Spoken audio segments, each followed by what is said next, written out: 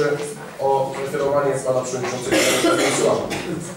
Opinię pozytywnie wyrażone zgody na zawarcie przez zespół szkół mechanicznych numer 3 kolejnej umowy najmu części powierzchni dachu budynku szkoły z przeznaczeniem na stację bazową telefonii komórkowej z polską telefonią komórkową Polkomtel SA na okres od 1 stycznia 2014 do 31 grudnia 2016 roku.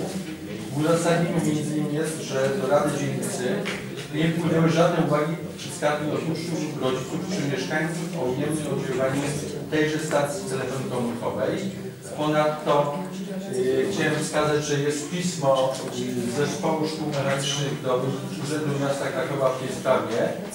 Myśmy, przypominam, rok temu y, głosowali y, właśnie w tej sprawie, ale tylko na rok, tym razem nie znaczy lata.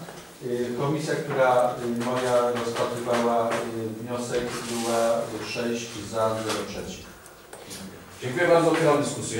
Ja tylko, tu- Pani Radna Ciężak.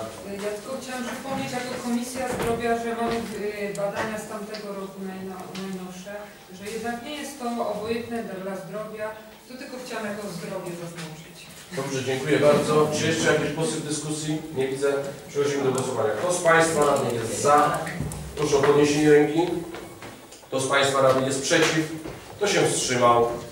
Dziękuję. Stwierdzam, że Rada przyjęła uchwałę na druk nr 14.